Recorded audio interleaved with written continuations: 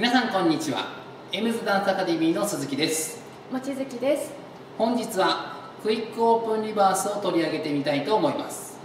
それではまず踊ってみます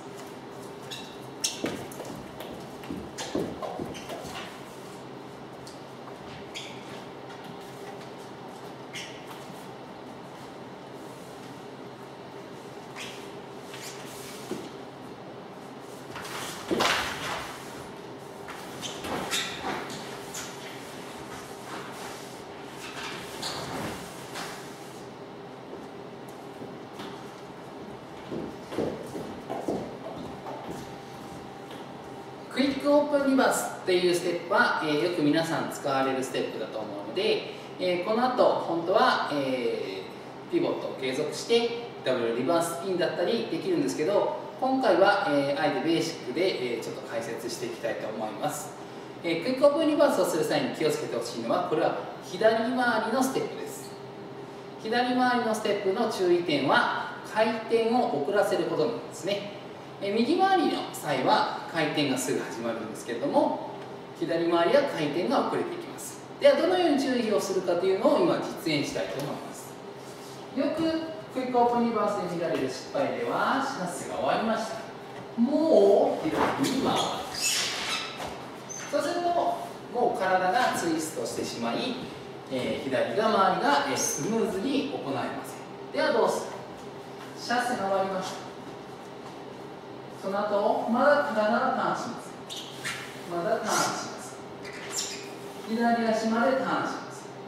この左足に乗った後に通過する際にやっとターンが始まりますそして全身女性全身男性交代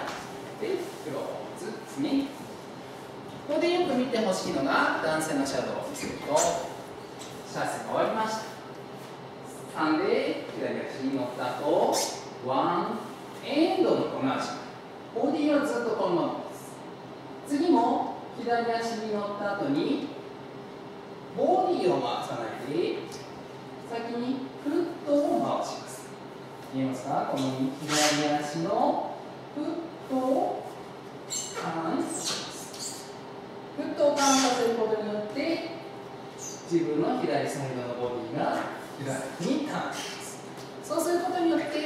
CDMP を継続することができます。これを次でまた驚いてしまう方が多いんですけどこのまましっかりバックしてください。ボディはオープンします。しっかりバックしてシャツでいきます。はい。ではここまでで女性の注意点はありますか？はい。でシャッセが終わった後同じく左回転始まるんですけれども左回転をすぐにこう始めないでできるだけ足に乗っていく右足についたつくのもつく前に回ってしまわないように右足にちゃんとついてこの足でライズをして次行くようにしましょう。ちょっと分かりづらいので書いてやってみますシャッセが終わりクイックオープンリバースここここですねここの時になりやすいのがこうなりやすいです我慢して右足にちゃんと乗りましょう乗ってその先で左回転を行いますはい、でここでもう一つ補足してほしいのが、えー左回りの際の女性のタイミングですけれども男子と一緒に右足男性左ですね。乗りました。この後一緒に動きません女性は男性が通っていくのを右足の上で待ってます。その後やっと追っかけてきます。これもし一緒のタイミングでやってしまうとぶつかっちゃうんですね。これ今ちょっと大げさにやりましたけど、えー皆さんの踊りの中で勢いがつくと本当にこうぶつかってしまいやすいなので女性の方は少しこの左回りは男性以上に遅らせてください。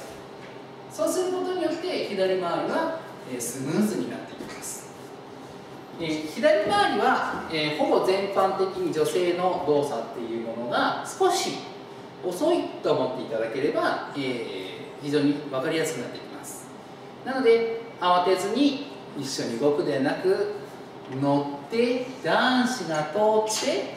動くぐらいで全然構わないので女性の方は特に左回りは大変なステップが多いと思うので慌てないように気をつけてください。ではもう一度最後に、えー、クイックオープンリバースを踊ってみたいと思います。